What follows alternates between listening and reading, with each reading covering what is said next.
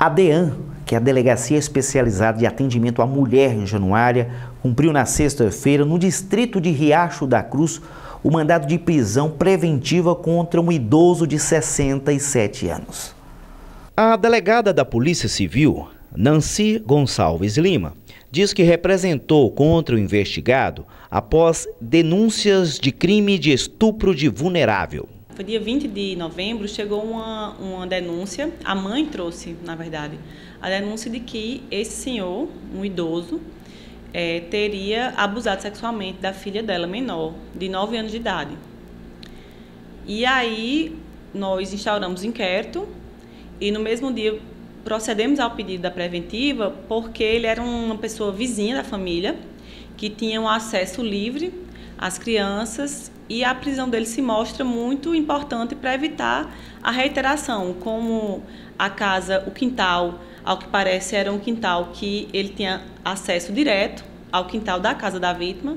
Então, nós decidimos por representar pela preventiva justamente para evitar uma reincidência. Segundo a autoridade policial, a irmã mais nova da vítima dizia que o idoso atraía as meninas para sua casa e oferecia lanches e até dinheiro. É, ele, ele nesse, nesse tipo de caso é muito comum é, eles of oferecerem lanche, dinheiro, e era o que ele fazia. Ele oferecia é, biscoito e até mesmo dinheiro para que a vítima ficasse calada e para que ela e para atraí-la até a casa dele. O inquérito ainda não foi concluído, informa a doutora Nancy, mas está bem adiantado para ser entregue à justiça. É, a gente ainda não concluiu, ainda falta ouvir inclusive investigado, falta ainda uma perícia, mas está quase pronto para relatar. Nesses casos, a pena máxima de 15 anos. Quando se trata de vulneráveis, não é necessário que tenha havido de fato conjunção carnal, qualquer ato que seja feito um toque, como você disse, já, já caracteriza o estupro. Ele não, não, um beijo. Então, assim, quando se trata de vulnerável, é muito mais rígida a legislação. A delegada destaca a importância da denúncia.